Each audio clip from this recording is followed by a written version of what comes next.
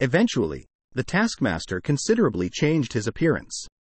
He wore a costume apparently modeled after tactical body armor, replacing his previous pirate themed garb.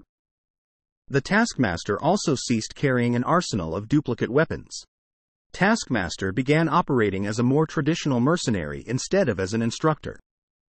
He first met Sandi Brandenburg after beginning this mercenary MO Taskmaster spent some time around Wade Wilson after Deadpool became famous for the Four Winds hit and hired Sandi as his personal assistant. Wilson was not responsible for the hit, however, and the real assassin Black Swan came after him and his friends. Wilson and the Swan were seemingly killed in an explosion. When Sandi found a stray amnesiac with super healing powers, she brought him home because she thought he must be Mr. Wilson. Taskmaster reluctantly helped train Alex Hayden at Sandi's request, but thought such an inexperienced merc would just get her into more trouble.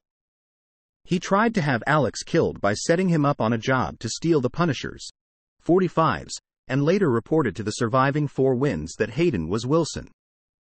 When Sandi was put in danger by this last act, though, Taskmaster chose to stand side by side with Hayden and his friend Outlaw against the Four Winds.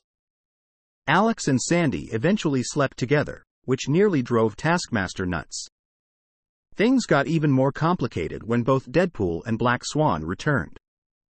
In the end, Taskmaster and Sandi seemingly ended up together with Hayden and Outlaw reunited, and the entire group stayed together for a time as Agency X Taskmaster was eventually hired by the committee to take out Moon Knight.